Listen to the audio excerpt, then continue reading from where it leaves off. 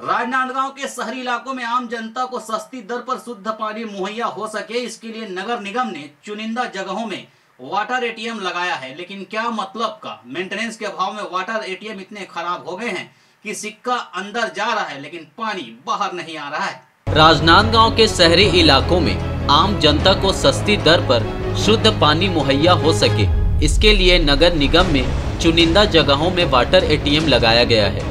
वहीं मेंटेनेंस के अभाव में वाटर एटीएम खराब हो रहे हैं। इसके अलावा बिजली कनेक्शन नहीं होने से एटीएम मशीन बंद पड़ी हुई है, लेकिन वाटर एटीएम मशीन से पानी नहीं निकलने से लोग काफ़ी परेशान हैं। पानी की तलाश में तो आते हैं, लेकिन जब पता चलता है कि साल भर से एटीएम मशीन बंद है तो लोगों के हाथ निराशा ही लगती है।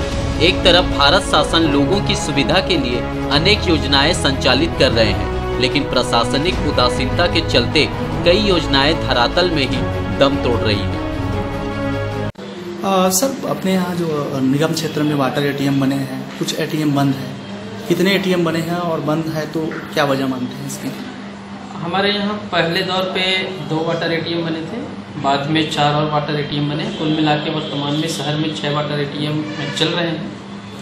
जो बंद वाटर एटीएम की आप जानकारी दे रहे हैं तो महीने दो महीने में उसमें मेंटेनेंस की आवश्यकता होती है। इस कारण से बंद हो सकते हैं अन्य किसी कारण से बंद होने की उसमें आवश्यकता नहीं है। जो बंद है उनको निश्चित तौर पे जल्द ही मेंटेनेंस करा लिया जाएगा।